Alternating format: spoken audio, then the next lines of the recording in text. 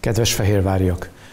November végén, amikor elindult az advent itt Székesfehérváron, akkor abban reménykedtünk, hogy egy békés, nyugalmas időszakban szép rendezvényeken, programokon készülhetünk föl Szent Karácsony ünnepére.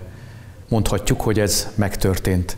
Rengetegen dolgoztak érte, tettek azért, hogy mi nyugodtan készülhessünk, várakozhassunk, hogy mire? A Szentestére, ma estére és karácsony első és második ünnepére.